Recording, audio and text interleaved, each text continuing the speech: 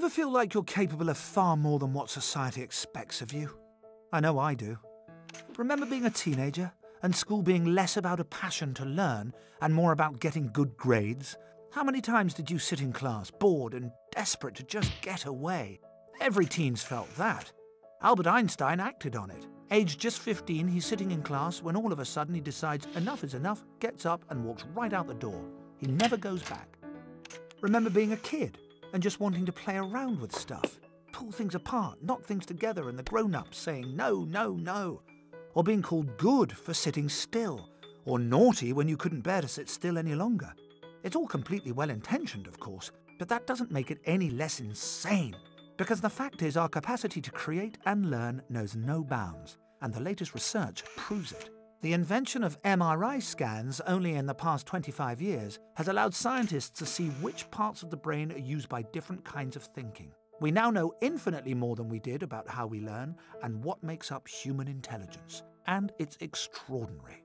So, want to know what you're really capable of? Let's start at the beginning. A baby's brain is amazing.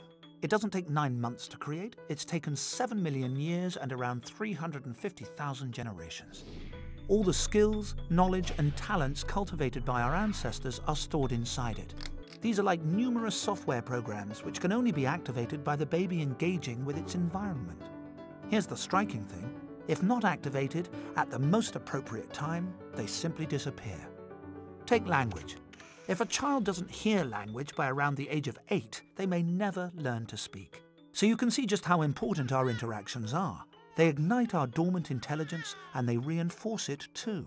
There's something else. We've evolved to learn by looking at things from different perspectives and making connections between things. And we do that through play. So wouldn't it be amazing if we bore all this in mind when raising kids? Letting them play when they're little and when they're older too? Charles Darwin's teacher said he'd never amount to much because he spent too much time playing with insects. So let children play, because it's never just play. Of course it takes more time and energy to do this, but when you're deciding where to focus resources for kids' learning, you couldn't do better than focusing on pre-puberty. That's when we learn by copying the people around us.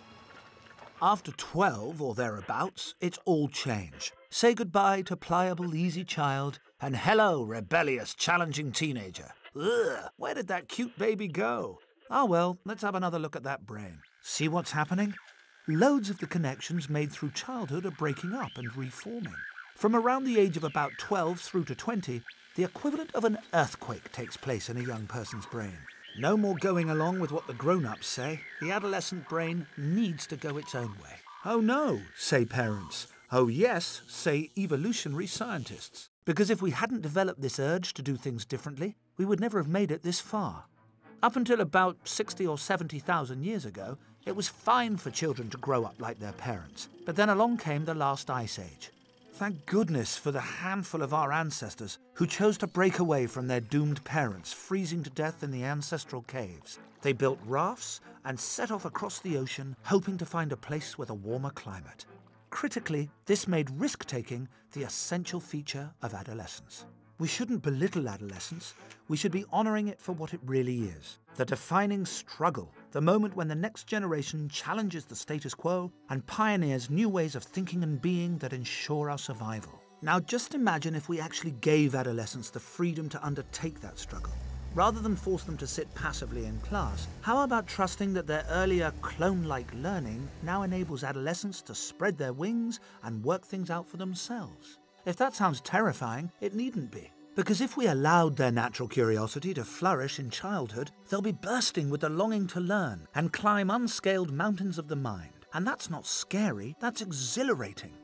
This is the way we've evolved to be. It's what makes us fulfilled, well adjusted human beings. Let's stop trying to live in a way that so goes against how we're hardwired to live. Let's allow ourselves and the next generation to reclaim the incredible gift of our ancestors. Adolescence is not a problem, it's an opportunity.